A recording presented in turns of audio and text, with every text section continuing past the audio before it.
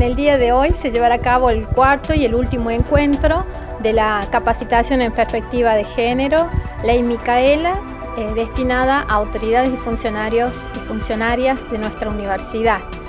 Es la cuarta jornada, ya casi tenemos 15 horas dadas, dictadas, más las de hoy.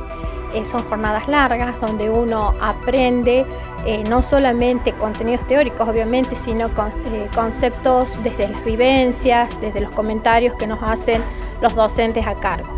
En esta oportunidad y como cierre de la capacitación la tendremos de disertante a la decana de la Facultad de Ciencias Humanas y Ciencias Sociales de la Universidad Nacional de Misiones, la licenciada Giselle Spasiuk, quien este, nos va a hablar puntualmente de la perspectiva de género en la gestión. A través de su formación y su trayectoria, nos dará y nos guiará, nos orientará y nos permitirá reflexionar de cómo aplicar la perspectiva de género en la gestión universitaria.